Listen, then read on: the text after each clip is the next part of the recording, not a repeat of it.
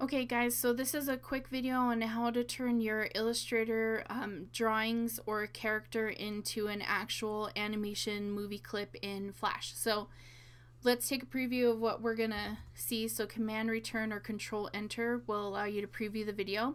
So we have this walk animation for this turtle and what he is is he's a movie clip and inside of the movie clip it has its own timeline that has the four different keyframes for this motion. So let's go inside of this movie clip. And as you can see, we have a picture of him on keyframe one with this particular arrangement of his feet. And then we have a keyframe on frame four, and then a couple more down. So those four keyframes will automatically loop to create that walking animation. So as you can see, I'm inside of the movie clip now.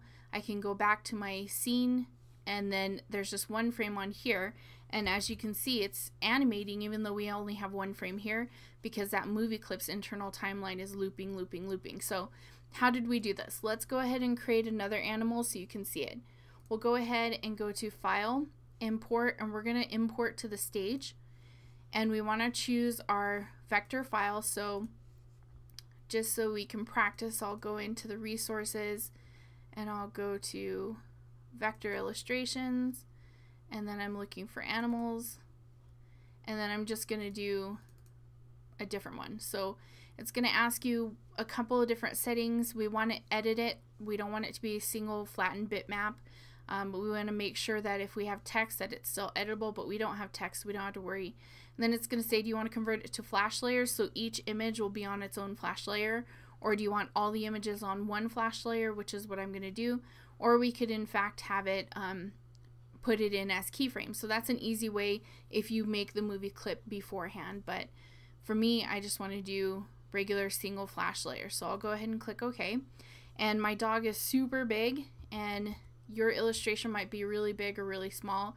But now I can go ahead and grab this transform control and hold shift to maintain the proportions and get the dog kind of the size I want it to be and view it again Alright, so basically what we need to do is we need to turn the first one into a movie clip and then move these three frames into that movie clip. So I'll click the first frame and go to modify convert to symbol, call this MC dog and make sure it's movie clip.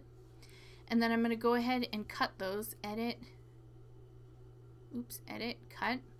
Now I'll double click inside of this movie clip. See how it says MC dog now? So I'm inside the movie clip. This is faded out because it's trying to tell you that you have a new internal movie clip timeline. So I can go ahead and paste these. And what I want to do is I want to actually, this process I'm going to repeat, I'm going to take the second frame and move it where I think it would be. So I'll put it there. And it actually can't be on frame one, but I just wanted to be on frame one now so I can move it in relation to that first frame. So now I can go up to edit cut. So that particular picture went away and let's say I go five frames in I want to go to insert timeline blank keyframe because I don't want to have anything on there until I paste it so now I go edit paste in place that's important not paste in center we want it in place because it's already moved to where we want it to be so we'll put paste in place and then there it is so I have a frame 1 and frame 5 so I need to move these to their own frames as well so I'm going to repeat I'll move him up where I want him to go.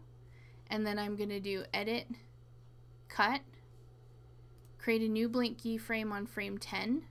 So insert timeline blank keyframe. And now do edit, paste in place. Oops, I didn't mean to go back out. Go back into the movie clip, go to frame 1. And again, we're going to move this guy where we want him to go. And then edit, cut, and then create a new keyframe on frame 15, insert timeline blank keyframe, and then do edit, paste in place. So now we have a regular walk motion. Now remember it's going to loop, so it's going to go straight from the fourth position automatically to the first. So we want to add a little bit of time out here. So we'll click on this frame and do insert timeline frame. So now if we go back into our scene and test the movie, now you can see the dog walking. He's a lot slower because there's a lot more gap between the keyframe positions. So if I go here, see how there's only two um, frames between the keyframes here? but if I go into the MC dog, there's like three or four. Okay, so that's why he was walking slower.